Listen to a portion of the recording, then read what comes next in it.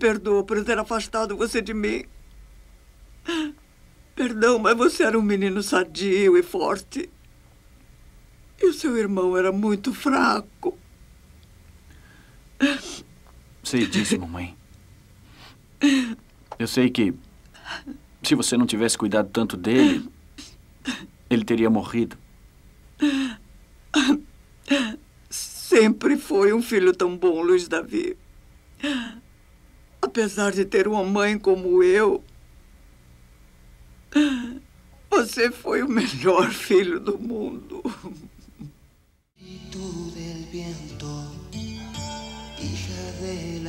Cassandra. Você tem parnê para gastar aos montões, se quiser, até o fim dos seus dias. De que me serve isso? Se não tenho a ele. Se queixa, Chay? Hum. Outras estariam prontas para aproveitar a vida.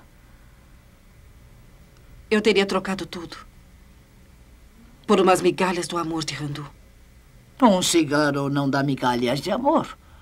Se dá inteiro.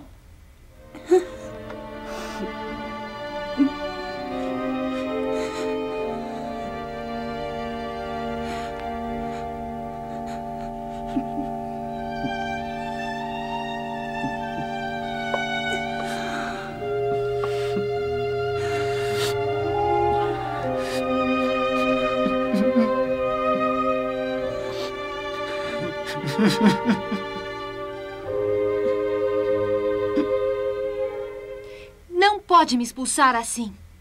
Você está muito enganado.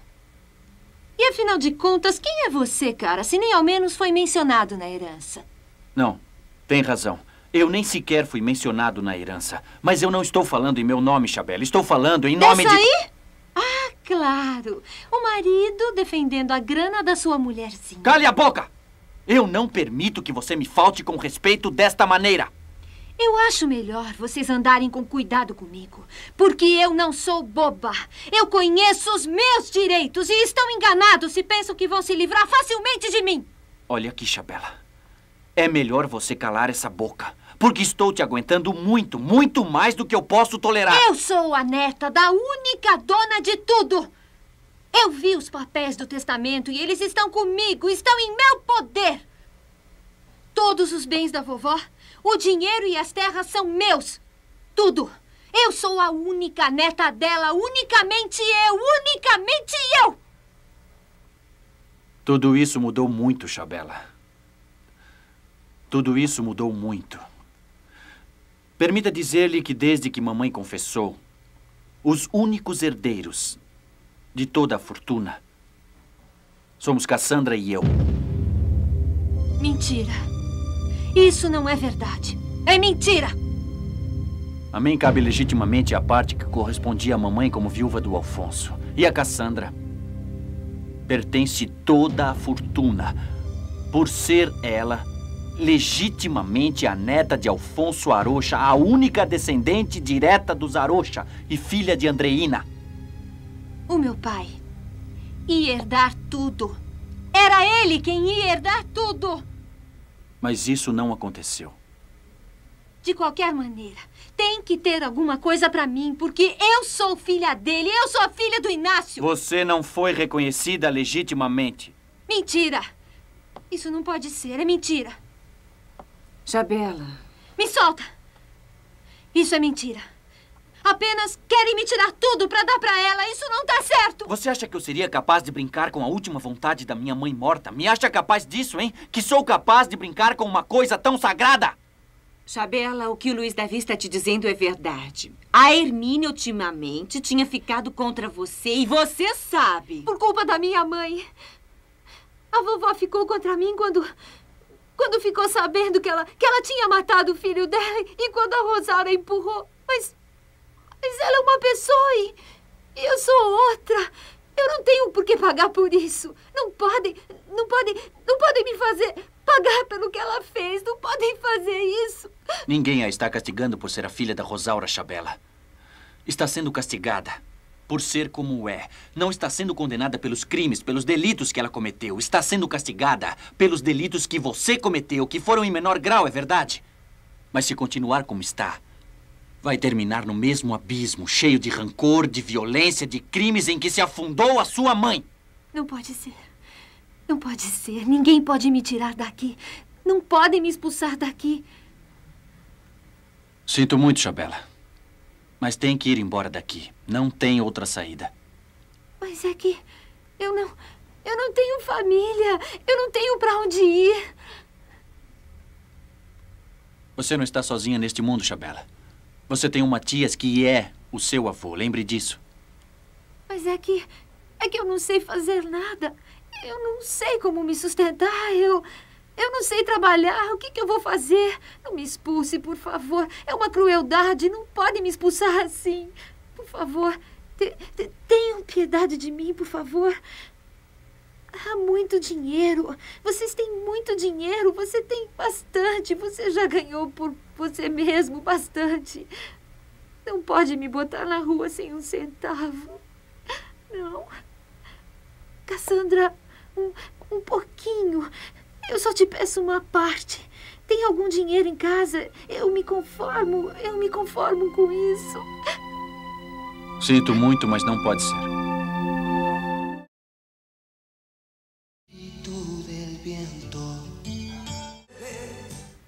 Sou sua sobrinha, Luiz Davi. Ah, apesar de, apesar de não ter sido reconhecida, eu sou sua sobrinha.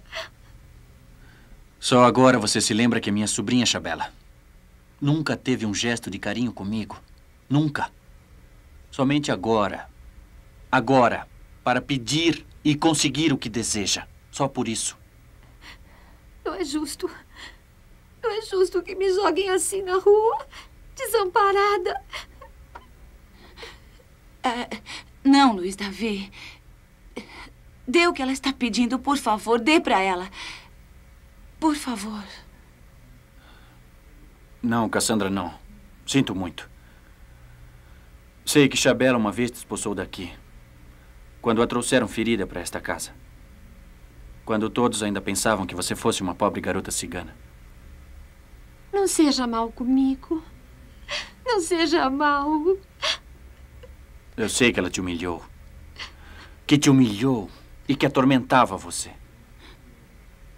Luiz Davi, eu, eu, eu não me lembro mais dessas coisas. Eu não guardo essas coisas em minha mente. Pode acreditar que eu sei, Cassandra, eu sei. E digo que é muito duro eu ter que fazer isso. Mas a Chabela tem que aprender a sua lição. Essa foi a última vontade de mamãe e assim será. Uma lição de humildade. Para que aprenda que na vida, a mesquinharia, o orgulho, a ambição desmedida, qualquer tipo de sentimento mesquinho que possamos ter, em lugar de nos engrandecer, só nos fazem diminuir. E talvez algum dia, se ela mudar, se é que muda algum dia, então eu reconsiderarei minha atitude. E mudarei minha decisão sobre isso. Mas o que é que eu vou fazer? Para onde eu vou poder ir? A quem eu vou pedir ajuda quando sair daqui, Luiz Davi? Veja se existe algum tipo de afeto ao seu redor, Chabela. Procure.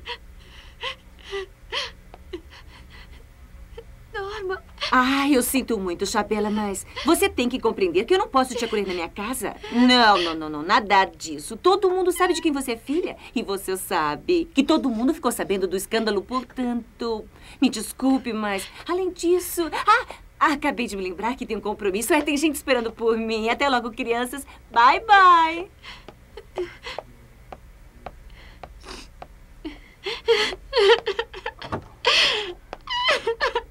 Ah, pronto.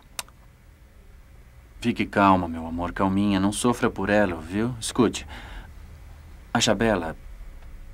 A Chabela está tendo o que merece. E é a única coisa que honestamente pode fazer com que ela mude, acredite. Ouviu? Tá bom? Bom, vem, vem. Vamos ver agora aquele retrato da sua mãe e espero que a ternura que sinta ao vê-lo apague este este momento amargo, este momento feio que, que você teve que presenciar, tá bom? Sim. Vamos. Vamos.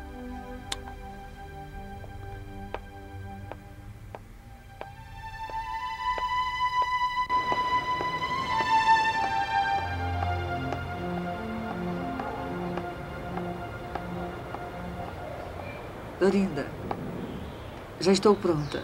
Vamos? Hum, o Tomás ainda não desceu.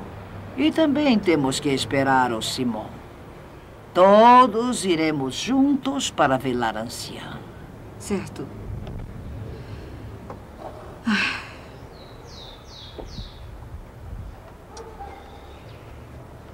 Ah, mas eu acho que você não vai conosco, Gemma. Por quê? Porque no livro do destino eu vejo uns passos de uma pessoa muito importante que se dirigem para você. Mas, Dorinda... Dorinda...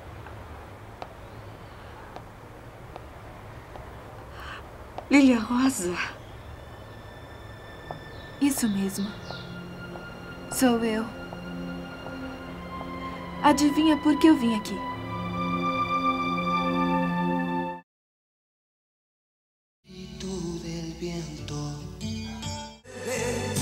Não sabe por que eu estou aqui? Não adivinha? Não.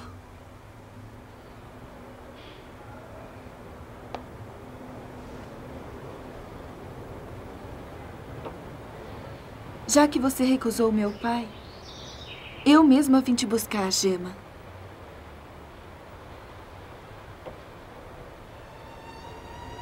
Talvez eu devesse ter feito isso desde o princípio. Desde que eu li aquela carta tão bonita que você escreveu, pedindo a ele que voltasse para minha mãe e para mim. Talvez eu devesse ter saído correndo para buscá-la, pegar a sua mão e levá-la comigo. Mas não dava tempo, sabe? E eu alcancei quando estava quase subindo no avião. Por pouco ele não vai embora. Mas eu o trouxe. Não deixei que fosse para longe. Eu o trouxe não somente para o meu carinho, mas para o seu também, Gemma.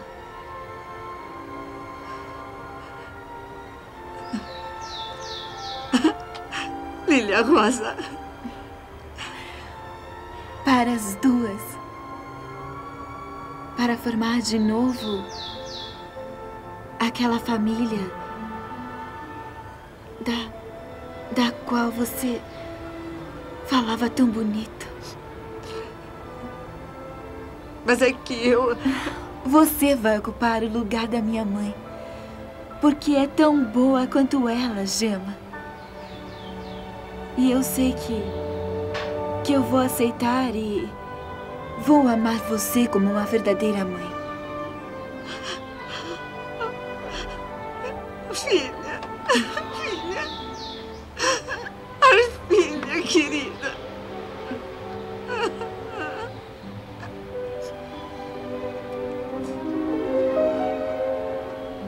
Sim.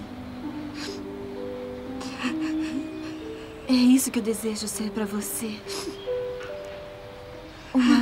Uma filha, Gema. Já que Deus levou a minha mãe, eu sei que você vai me dar toda a ternura, os conselhos e ajuda que ela teria me dado.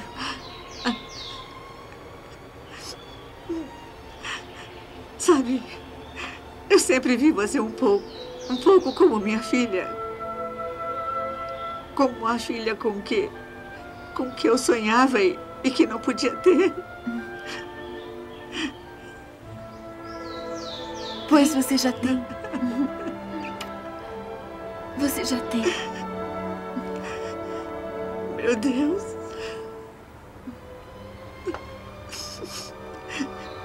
Sabe? A minha mãe ficaria tão contente se nos visse. Porque um dia ela me disse: Lilia Rosa, se. Se algum dia, algum dia me acontecer alguma coisa.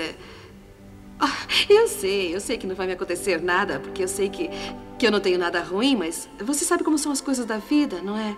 Bom, de repente a gente fica doente e morre. Mamãe, Hum, não diga isso. tá bom. Mas sabe o que é, meu amor? Eu gostaria muito. Vem mais pra cá.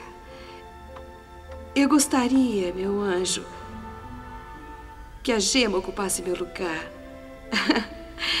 e que você gostasse dela assim como de uma mãe. Ela não sabia que estava para morrer e foi embora sem saber. Preste muita atenção, Lilia Rosa. Eu. Eu me intrometi no meio deles. E sempre pensei que. que a Gema merece toda a felicidade do mundo. Isso mesmo, meu amor. E é por isso que.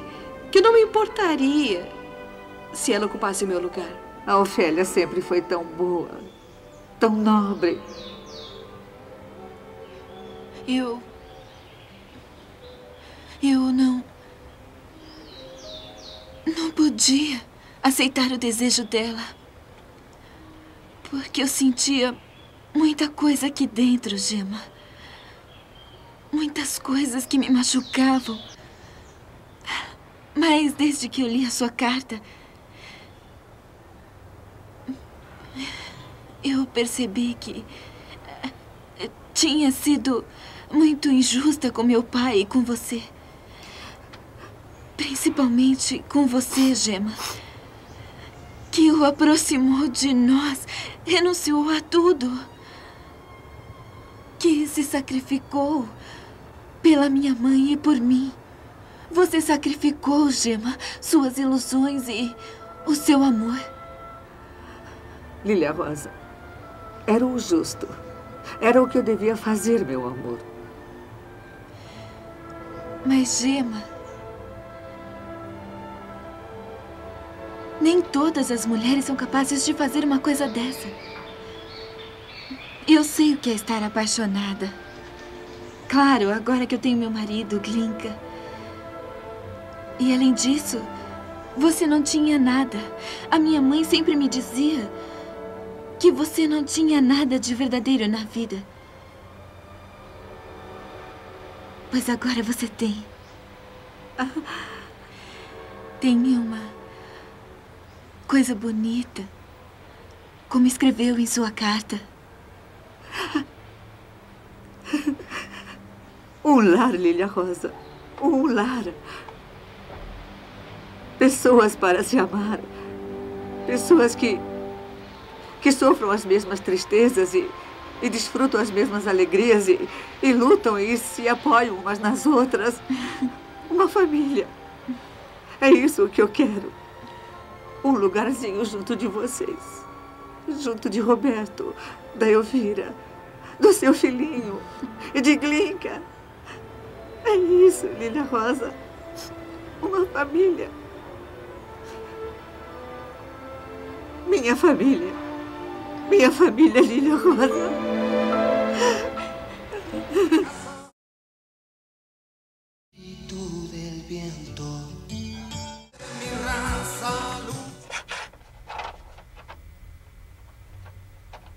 Toma. Toma isso, Simão. Estão vencidos. Uhum, sim.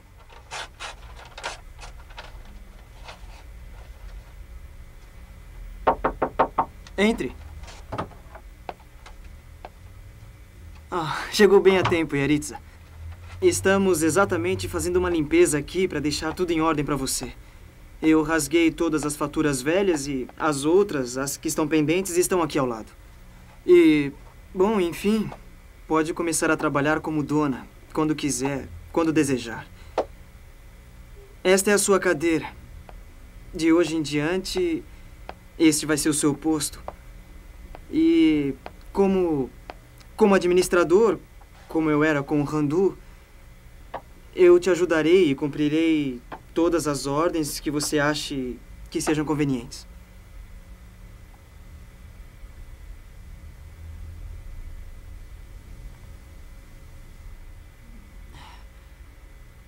Minha primeira ordem será a última, irmão. Eu só darei uma. E será essa.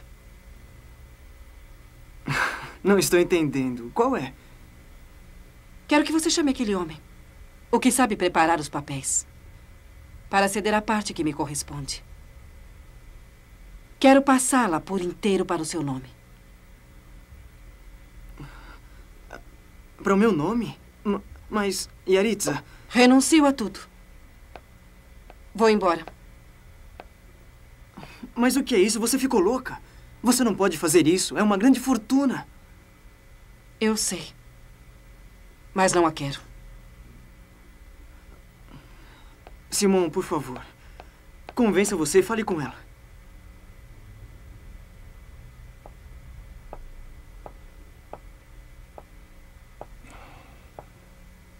Yaritz, eu acho que você... É inútil que vocês falem. Já estou decidida. Me senti orgulhosa e honrada quando o Char me deixou seu dinheiro. Como se eu fosse a mulher dele. Mas eu amava o Char. E não as suas riquezas. As riquezas amarram. E um cigano não quer estar preso. Hum, que pensa fazer? Ir embora. Nada mais me prende aqui. Começarei de novo a vida errante. Mas com quem? Como? Não se preocupe com isso, Tomás.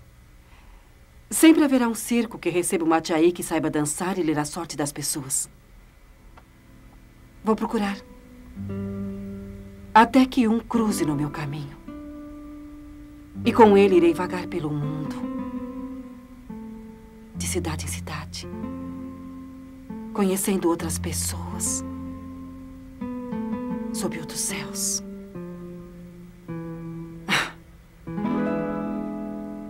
Faça isso logo, irmão. Quero ir embora. É como se, de repente, tivesse nascido asas em meus pés. Com licença.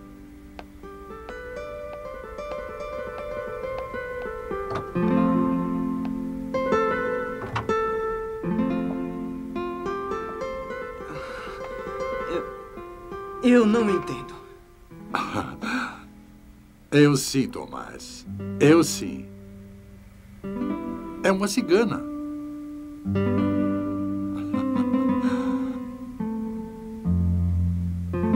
Pois é.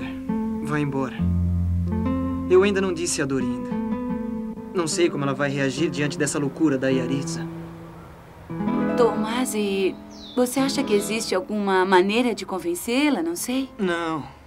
Acho que não.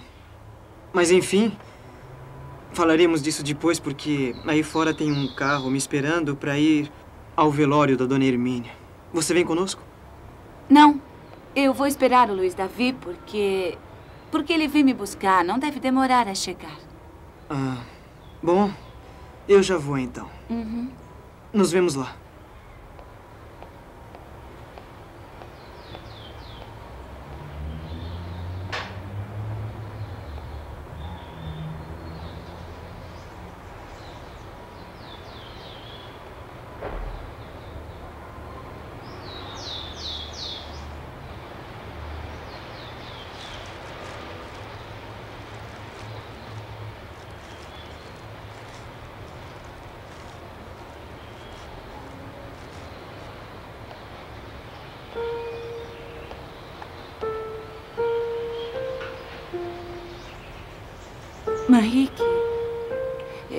Eu. Eu pensei. Você está esperando agora o, o Luiz Davi, não é? Sim, sim, o Luiz Davi vem me buscar para irmos onde a Hermínia. Sei, eu estou vindo de lá. Eu estive um momento lá e. Eu queria que você dissesse a ele, por favor, que eu estive lá para que não pense que eu não fui, porque. Bem, porque. Porque num momento como este, devemos deixar de lado todas as diferenças. Né? Além disso, eu acho que não existe neste momento uma pessoa mais aborrecida e mais cheia de vergonha do que eu. Não, Henrique. Eu não penso assim. Não, por favor, eu te peço que não me desculpe, que eu sei que não tenho perdão. Eu estive a ponto de destruir a sua vida, Cassandra. Por agarrar-me a uma mentira em que eu acreditava. Você era sincero. Você acreditava nela. Não sei, não sei até que ponto. Quer dizer, o que eu fiz foi me enganar e tentar me convencer de que o, o Luiz Davi era mesmo culpado da morte do seu irmão. E talvez tenha feito isso porque me convinha para separar você dele.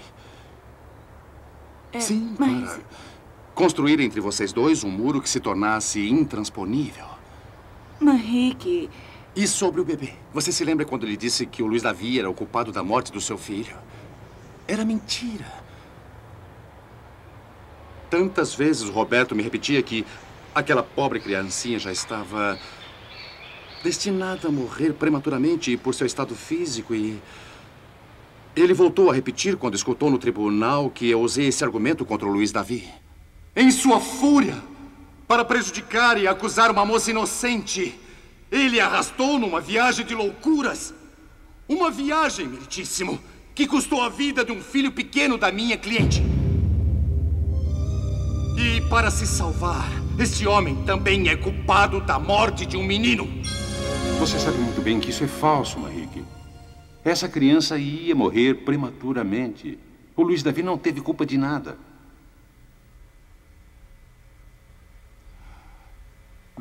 Bem, aquela criancinha morreu naquele momento, naquelas circunstâncias e. E também. O Luiz Davi é culpado de muitas coisas, uma mais. Não importa. Não sei, eu estava obcecado, estava cego. E fui desonesto. Eu fui muito injusto com ele, com você e, e comigo mesmo também.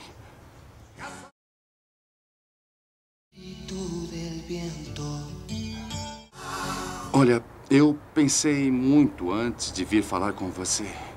Pensei sobre isso muito, muito. Porque. Eu nem ao menos me atrevo a pedir perdão. Manrique, eu. Eu te devo muito, muito. Por esse amor que. Que você sente. Talvez tenha cometido um erro. Mas você me deu muitas coisas boas. Coisas pelas quais eu vou estar sempre agradecida e que nunca, nunca vou poder esquecer. É ilógico, você não pode. Você está agradecida? Tem alguma coisa que agradecer a mim? Henrique, para mim você foi. foi um consolo. Você foi. Foi um apoio. Você se lembra da primeira vez que me viu? Não, não, não se assuste, por favor. Por que está chorando? Por que está chorando assim? O que houve? Vamos.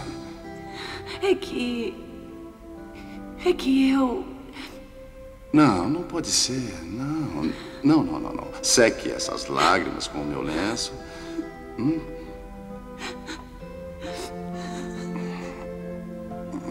Eu sei que eu tenho um lenço. Aqui está. Vamos ver. Assim. Não, mas se continuar chorando, meu lenço vai ficar ensopado. Por favor. Vamos, enxuga os olhos. Isso. Porque senão vou ter que espremê-lo como um pano de chão. Mas como? Você com esse rostinho tão lindo, o que você quer? Ficar feia chorando, hã? Você me ofereceu Tome. seu peito. Seu peito para. para que eu me refugiasse nele. Quantas lágrimas. Eu. Eu derramei em seu peito. Quantas vezes me refugiei nele. Cassandra. Manrique, você sempre acreditou na minha inocência. Sempre.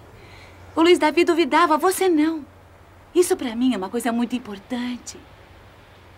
Quando. Quando ninguém acreditava em mim, quando todo mundo estava contra mim, você. Você sempre estava lá para me defender com. com sua fé, com sua paixão, com seu amor. Eu? Uh, não. Olha, isso. Isso apaga tudo. A única coisa que eu lamento é. é não ter. não ter podido corresponder a esse amor tão lindo que você me oferecia. Manrique, eu. eu sempre amei o Luiz Davi. Eu sei. Escute, eu quero que você saiba que. Que eu não guardo nenhum tipo de ressentimento contra você, nenhum tipo de rancor. Eu quero é que, que você fique tranquilo. É verdade. E o que eu desejo é que. é que encontre uma garota que. mereça esses sentimentos, esse tesouro tão grande que você tem como sentimentos, Monique.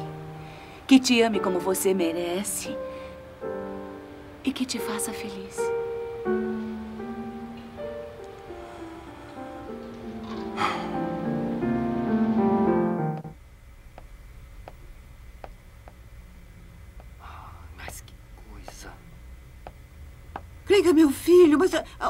Está a Lília Rosa? Mas que ideia foi essa de sair agora? Foi buscar uma coisa muito importante, vovó, muito importante. Mas pode-se saber o quê?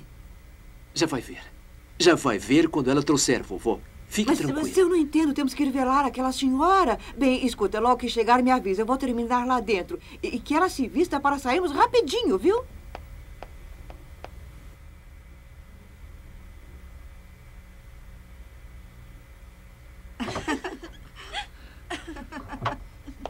Ah, você a trouxe. Ah, viemos correndo, meu Deus. Onde ele está? Em seu quarto. Triste e pensando. Hum. Mas logo vai se alegrar quando ver você, não é mesmo, Glinka? Anda, Gema, vai lá no quarto, vai. Anda, vai lá ver ele, Gema. Mas. Lilia Rosa. Anda, Gema, por favor, vai. Então vamos as duas. Não, não, assim não. Você sozinha. Anda, vai. Ai, você imagina meu pai? A alegria que ele vai ficar quando ver você.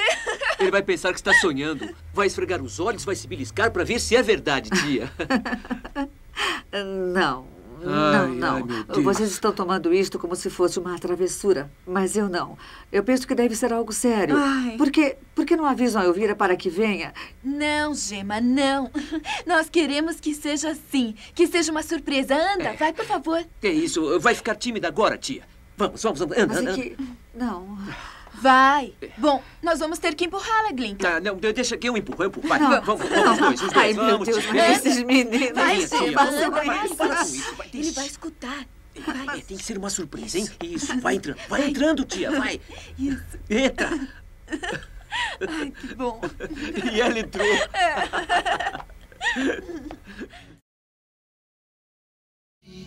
del viento.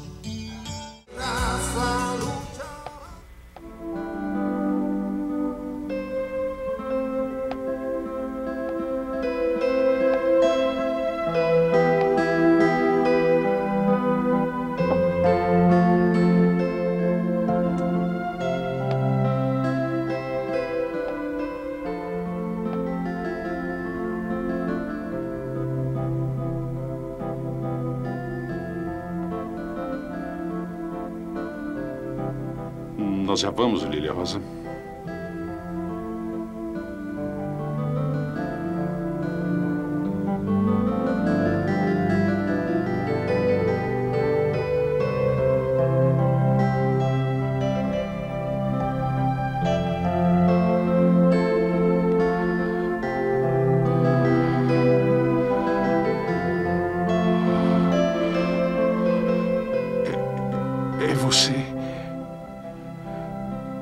Por favor. É você mesma. Sim, meu amor, sim.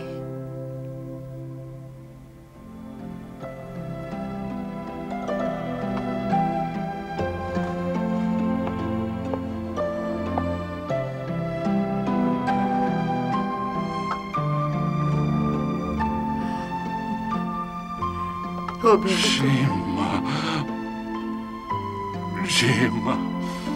Roberto, meu amor.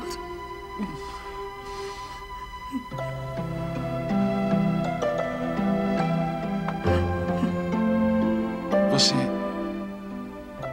Você veio. Está aqui. Foi ela. Ela foi me buscar e me trouxe aqui. Quem? Lilia Rosa.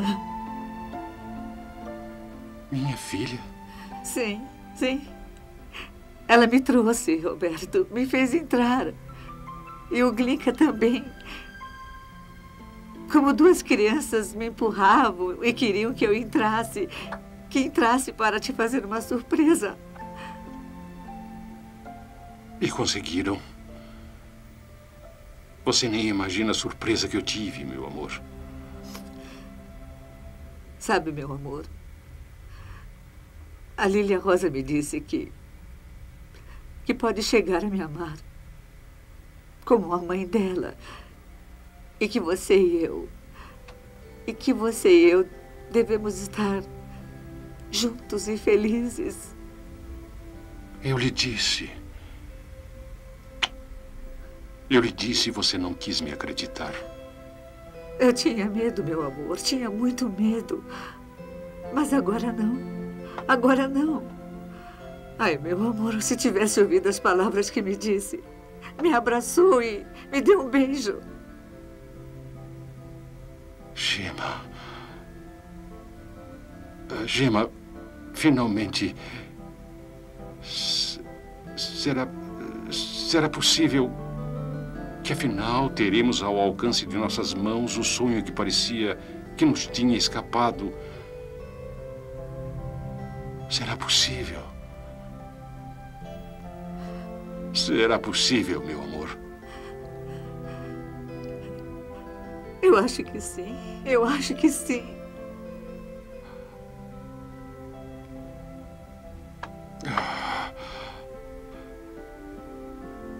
Você está aqui. Está aqui fortemente apertada em meus braços. E ainda não posso acreditar. Está vendo? Já não quero ir daqui. Não quero ir embora. Quero que me abrace. Me abrace assim. Me abrace assim, forte, forte, forte. Que eu sinta o seu coração e você o meu. Escuta. Está escutando?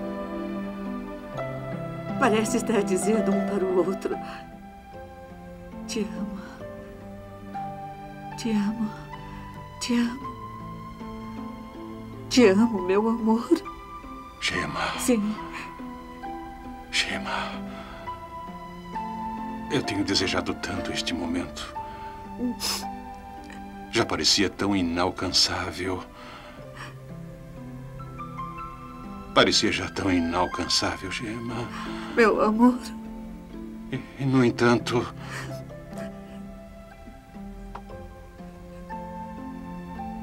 Aconteceu. Finalmente.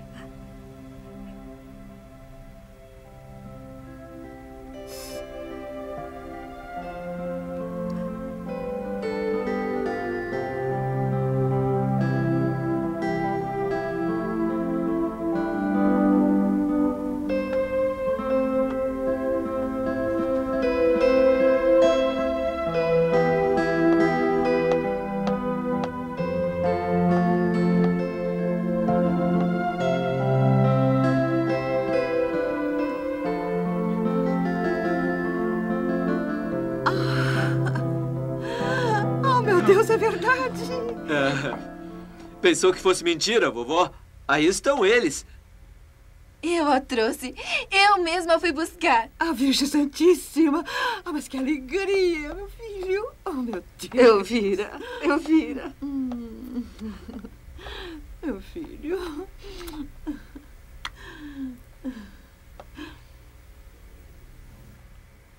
Foi a Lilia Rosa que a trouxe para mim. Eu sabia que ela faria, ela é muito boa. Assim juntos. Os dois. Agora sim somos uma família, não é? E quero que sejamos uma família muito feliz. Muito feliz.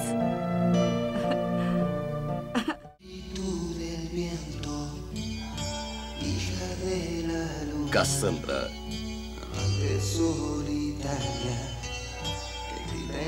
Silencio, pagando el sentimiento.